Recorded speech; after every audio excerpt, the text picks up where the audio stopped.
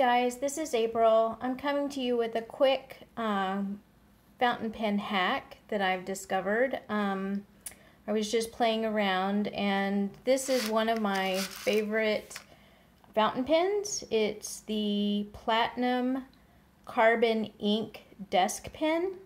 Um, it comes with a cartridge and a very long handle. You can see that it's extremely long and has a plastic handle with a hole in it. Um, but the nib itself is extra fine and is just great for um, both journaling in a hobo Hobonichi or journaling in a traveler's notebook or drawing even uh, because the carbon ink is uh, waterproof. So it it's my favorite pen. It's um, about $10 on Amazon, sometimes a little more, sometimes a little less. Um, comes with a cartridge that I tend to just refill with platinum carbon ink that is waterproof. Um, it doesn't smear. Um, the thing I don't like about it is this long plastic handle. Um, it makes it too long for a notebook.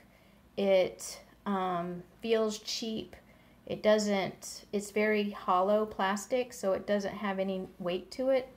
Um, I have seen videos where different people have, um, I think, um, cut it off so that you can post the pin. Posting is when you put the the lid on the bottom of the pin, and as it is now, it's not postable. Um, so it's just sort of inconvenient uh, for my purposes. I think it would be a great desk pen, but um, for my purposes, it's inconvenient.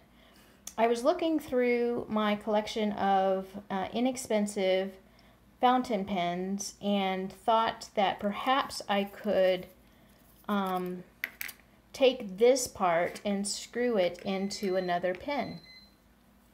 It turns out that I can. I had this Baoer Chinese pen.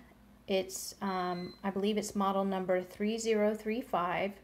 Um, you can get it on Amazon or on eBay. It comes with a medium nib, which is a little thicker than what I like. But if you unscrew the nib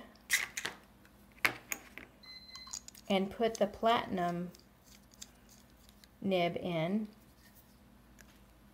it works perfectly. It has a nice weight to it. It's all metal. Uh, and best of all, the cap will post. It's not going to fall off. So just wanted to share. It's one of my favorite hacks that I've discovered. Um, it may be somebody else has discovered this too, but um, but I just was playing around. I do know that I had shared this with somebody who was periscoping and she tried it with a hero pen and it worked with that. So some of your Chinese pens may work. I'll have um, the model number and information in, um, in the show notes. Thanks for watching. Bye-bye.